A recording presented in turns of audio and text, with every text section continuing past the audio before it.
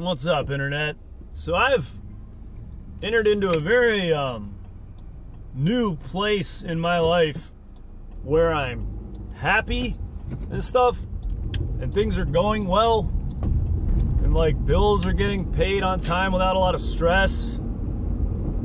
So I'm, I'm going hiking now, and I'm hoping that it all doesn't fall apart all of a sudden, as has been the pattern of my life, where I've maybe failed to be as grateful as I should before God in the moments of, you know, other times in my life when things were going really well, where I was doing good with a female, I had a companion, a partner, and was certain that it was going to work out. And then the next thing I know, I'm dumped and living in my car, just so depressed I can't stop smoking weed constantly and I'm really just you know like checking in now to be like, oh, like so does does anybody else out there get real nervous? Maybe not nerve. What's the right word? Just like when you discover that you're grateful and your relationships are healthy and you're kind of where you want to be and you're just on your p's and q's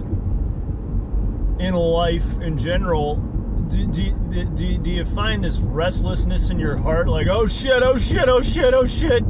Like i don't know it, it, just it won't really leave me. And so I, I think maybe it's a good thing you know. I was gonna call this one my beef with god. But from what i've just talked about so far about you know like the, the restlessness of the satisfied uh, hardworking white guy um, you know, it's like I'm satisfied with where I'm at now. I'm working hard enough. And that, yeah, that's been such a jinx in my past that I'm like, fuck, am I jinxing it just by observing it? By, by saying, by daring to be like, okay, I'm happy. And it's like, is that, is that just like a thousand demons are like, he's happy, swarm! You know, like, is, is that how this shit works? Or they're like, we could probably get him on a non-transferable loan debt now. Ha ha ha! You know, like what? Like what's? Fuck! I really hope I just go up from here. You know, like I really hope that I can finally just go forward in life, and that Jackie doesn't like explode with an aneurysm or some shit. Uh, you know, this is my fiance. For those of you who don't know, I'm engaged. I'm getting married in June on either the third or the fourth. We haven't quite decided but uh, that'll be our two year anniversary. And she's such a good woman. I don't really, like, I barely deserve her.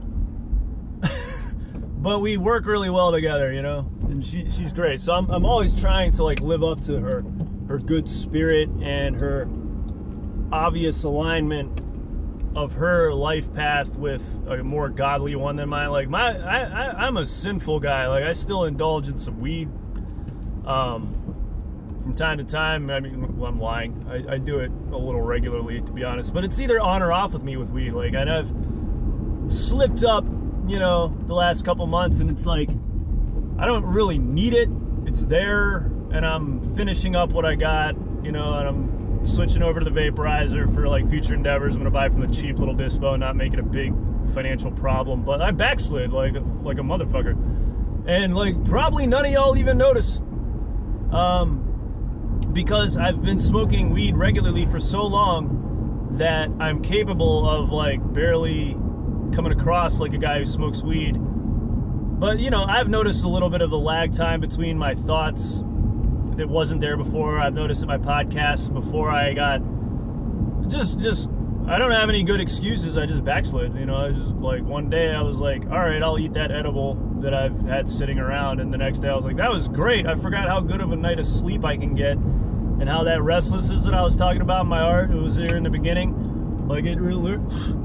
For whatever it's worth, we puts my neurotic ass at ease in a in a way that not much else can, you know, and and um, you know if I have like a like my my daily requisite of energy to spend is like a 10 mile run. like if I did that every day, I'd be like feeling as normal as you do after you watch The Simpsons, you know?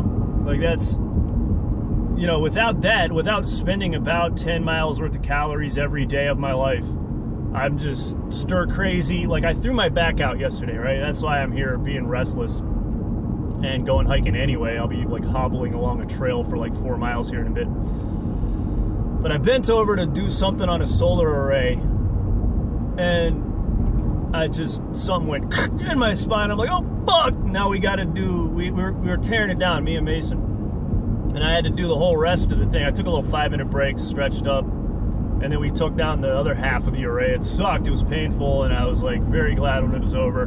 And I woke up this morning not much better, not really ready to go back to work for Mike over there. But you know, it's it was it was a it was a check-in point for you know my own sense of self. It's like, hey, asshole, you can't really afford your health can no longer afford to be flip flopping in and out of your pot problem because you did get sick this year because yeah i froze to death in the airbnb and then i got sick i don't think it was the fucking covid because i'm not retarded um, and i know the difference between a leprechaun and a short person anyway um, so I got sick, you know, and that was like a reminder. It's like, hey, you too can get sick. And even myself re-listening to that last podcast, which I thought was a lot better than this one, you know, already I can tell that this one's kind of like I'm sorting shit out.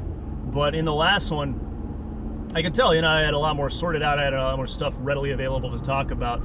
Oh, by the way, my beef with God is the same beef that I've always had with God, and it's it's intended for comedy. I'm not really questioning the design of the creator. That's up to him but why the fuck are my nuts on the outside? God, that makes no sense to me. And then stupid people are like, well, your nuts are the outside because they require a lower temperature than the rest of your body to produce sperm. And I'm like, asshole, you're not down to the, you know, strip the painting down to the canvas. I want to know why the fuck my nuts are gotta be on the outside. Like, why do they have to have that coolant temperature regulation factor in them? That makes no sense. None. It's just a fragile thing that hurts when I get kicked and dangles there like a punchline. Like, what the fuck, God? You think that's funny to design? It's like, we're made in the image of God. Well, then he was a bad architect when it comes to male bodies. All right? You could have put and this is this is all for comedy. Again, Lord, please don't smite me for criticizing you. I'm not, but it is there's a very funny angle here because what the fuck are my testicles doing dangling between my legs? I'm not I'm not gonna go Bruce Jenner on you guys, but like what the fuck are they doing there? For real, like I've had three testicle operations. I've thought about this. Three. One, two, three testicle operations in my life. Like at first it was a varicocele when I was 12. And I was humiliated. I told everybody I had like a, a lower abdomen surgery that I had to go out of school from because I was like fucking 12. It's humiliating to be like, yeah, my balls are all fucked up, guys. And I hit it until this asshole that we used to hang out with, actually kind of respected him, even though he was an asshole. In retrospect, he was probably like totally respectable all the way. I was just kind of a dumbass. But this guy, Doug Driscoll, right, that I went to high school with, and he's an asshole enough. I don't give a fuck if, if, i am doxing him. Like, fuck him. Um, but he was like, yeah, like, you know, I had that surgery. A bunch of us have had that surgery. You're the only one who decided to lie about it, you pussy. Just own up to it and move on with your life. And I was, you know, props, Doug, wherever the fuck you are in life. Like, that was a good point. You know, but I try to hide it. I was like, there's no shame in talking about this shit. Like, we all human. We all have body parts. Some of them are going to malfunction. If you think you're fucking perfect, just give it a little time. Um, so I had a testicular varicocele. It's where a vein forgot to stop growing in my balls. That got operated on when I was 12. It was humiliating. My testicles swelled up to the size of an avocado, my left one, and then um, swelled back down, leaving me with a long, droopy, dangling ass nutsack that I carried around with me and explained away to women. Um, since no men have ever seen my balls, uh, women only see my balls. You know, I explained it away to them, like, yeah, I got this, here's why it's droopy and dangly and looks like an old man's balls. I, I get it, it sucks. And then I went in for a testicle operation later in life because I had a hydrocele, which is when your ball fills up with air, water like an airbag. And this is like you know, 20 years later, I have the second operation on my on my nuts, and um, they fuck it up. It doesn't take. It just it comes. The problem comes right back on me, and I'm like, in the first set, in the first case, I was like, yo, doc, can you shave off some of my scroach? I got too much scroach, bro. And he was like, like, you're gonna be in there, I'm gonna be on the table. Like, how hard is it to take your scalpel and go like that, you know, and just sew it back together all the same? You know, I just have too much balls from this 12 year old operation or 20 year old operation that I have. And he was like, well, that's an aesthetic procedure, you know. And then he fucked up the the non-aesthetic procedure. So I'm like, yeah, about that aesthetic procedure. You mind throwing that one in now that I'm giving you a second chance to get this right? And he was like, I'll hook you up. So now I have young 20 year old guy nuts again. They look fine. Thank you for asking. And welcome to the podcast, all new, new subscribers. Thank you for being here. I'm glad that you're on board with hearing about my testicles and my beef with God. So, my beef with God persists. Why the fuck are my nuts on the outside? Why the fuck do they have to be cooler than the rest of my body to regulate sperm production? That's shit gay. What the fuck, God? It's like you're playing a prank on all of mankind, and then they're all running around like, we're made in the image of God. Well, then he fucked up. all right? he fucked up. I don't think Adam or David or whatever the fuck the first man was should have balls on the outside. I'm not saying you should have a vagina. No problems with the penis. The penis is one thing, it goes in between your legs. There's one gap between your legs. One thing going in between that gap and flopping around makes perfect sense. It's fine. You know, it can be a shriveled little thing until it's time to perform. That's all fine and good. Um, but to have two things that don't like symmetrically line up in, in that gap, and like two things in one gap is stupid. Put one thing in one gap. Obviously. Obviously. So I will call this one my beef with God because it's funny, but it's true too. Like, I don't get it.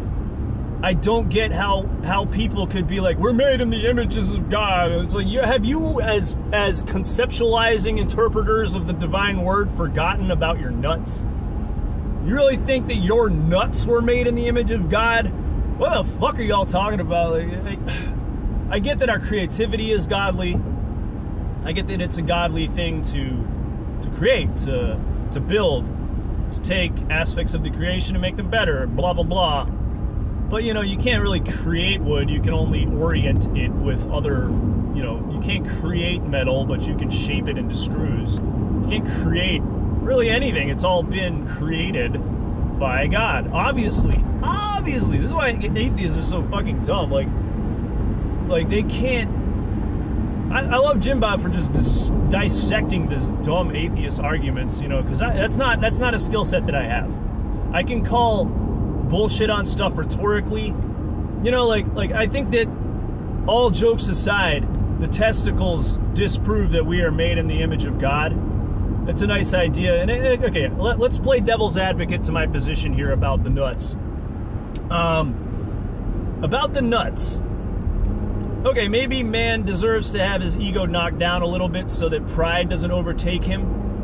And so God gave him a couple of nuts to be like, yo, even a child can flick these and have pain affect you. You know, you're not, you know, it's like a constant reminder of your mortality, like that king that had the guy whisper in his ear, like, you're gonna die one day, you're immortal, you are not a god. You know, maybe that's what testicles are to, to man. They're a constant reminder that you are here temporarily, that you're fragile, that you can be broken. You know, like, I've met some some burly motherfuckers, guy, the kind of guys who literally could whoop my ass with one hand tied behind their back and their shoelaces tied together. Like I've met some some scary, strong dudes in the world, and I heard this insight. You know, it's like from Leo Gura, who I, I flip flop on Leo Gura a lot. I like him, I don't like him, I like him, I don't like him. But he's he's an interesting thinker, and he, he puts in the work.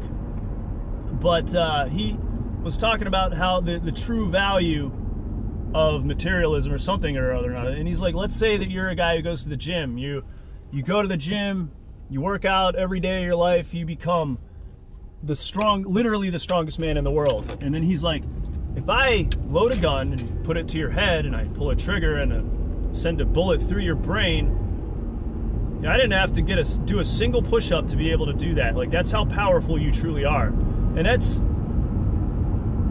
maybe like I'm, I'm probably not wording it correctly, but you get the idea, right? It's like anybody can take your power. Like power over man is something that can be taken at any time. Like you want to be powerful over men, like that's a fool's errand. I learned this when I read The Fountainhead, you know, baby in the bathwater. Power over nature is true power. Being able to and and you can't have power over nature without a respectful reverence for nature. So maybe that's what our balls are for. They're supposed to teaching us to revere nature, to accept what nature is, to accept the fact that I got these two little orbs that hang between my legs that could be kicked by a four-year-old and leave me a crumpled mass of, of, of crying, like, puking on the sidewalk.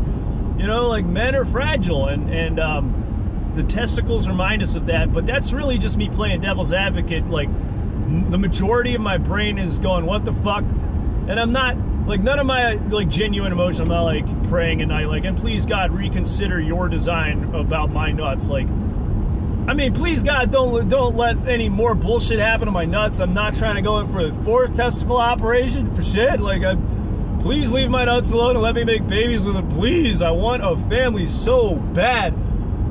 Oh, and that's something that I do feel emotional about. That prayer right there was legitimate. Like, please God, in the name of your Son, don't let anything else negative or terrible happen to my balls. Please, I won't look at the pornos again. Like, I'll whatever my end of the bargain is, let me know. I won't do it.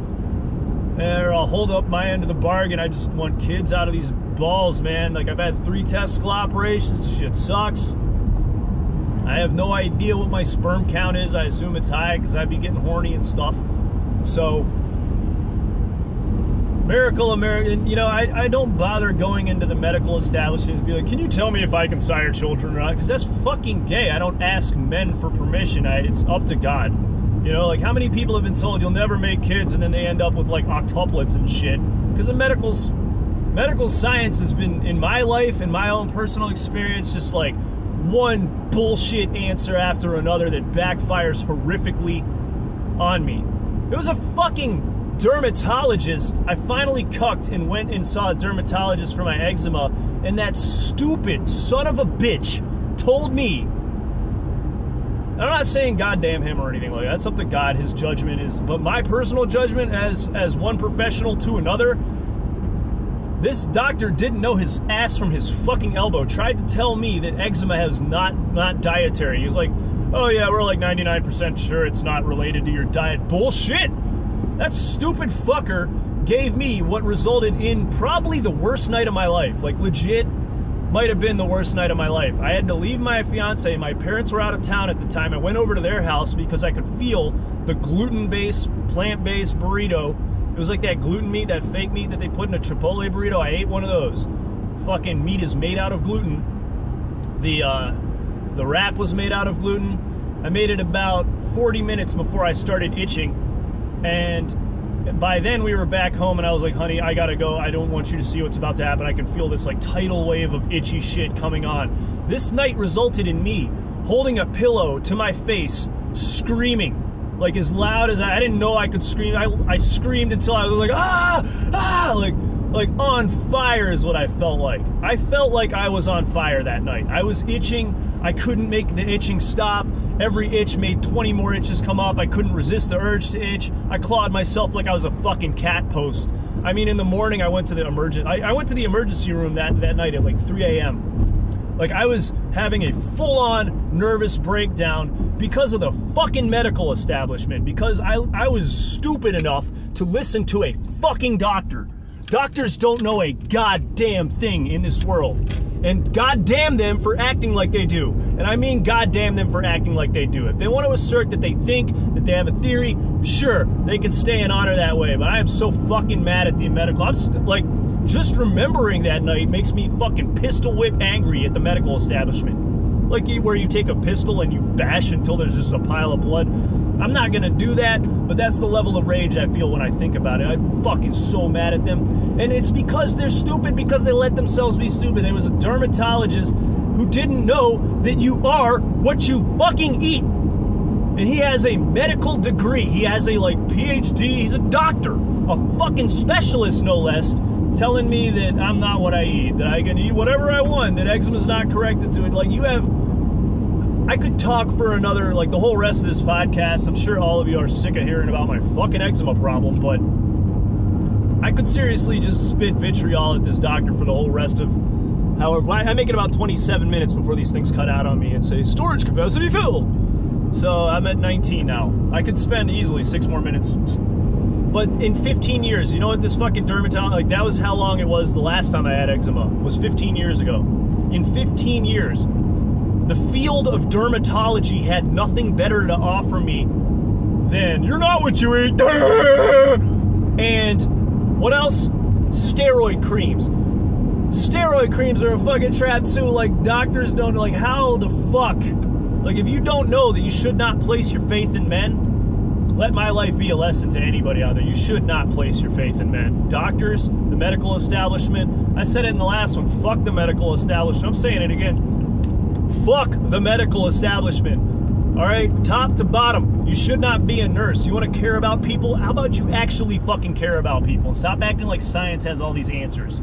Start acting like prayer has some fucking answers, and maybe you'll actually achieve the help that you purport to deliver all these people. They're like, well, we gave them chemotherapy so they could suffer into their twilight years instead of just telling them about hemp oil, vegan diets, CBD oil. Like, get yourself some marijuana extract and go vegan if you have cancer.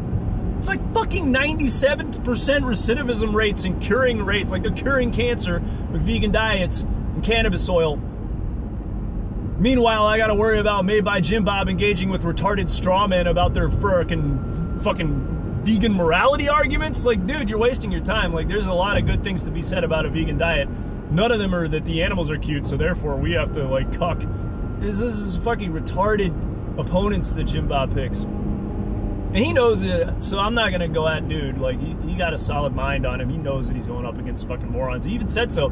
Like one podcast after I commented on him going against the straw men of the vegan movement, he commented on it himself. Like I don't need to check Jim Bob. He's smarter than me. But that's my beef with God. It's comedic, sort of, not really all the way. And the vitriol that I generally have toward the medical establishment and the things that I was going to talk about and have forgotten to talk about, I'll talk about in the next one after I listen to this shit because I'm basically at the park now about to go hike in the woods and fix my broke back mountain of a gay back that I'm dealing with right now. And no, that doesn't mean I took it from Jake Gyllenhaal or whichever one was the top. No, Jake was definitely the bottom. Look at that pretty boy. He was definitely the bottom in that fucking movie, right? I saw that movie, but it's been years ago, and I had to just think for a member. Like, the dude who played the Joker was the top. Of course. Of course. Obviously, dead Heath Ledger was the top, you know? But you want to make an omelet, you got to break some egos.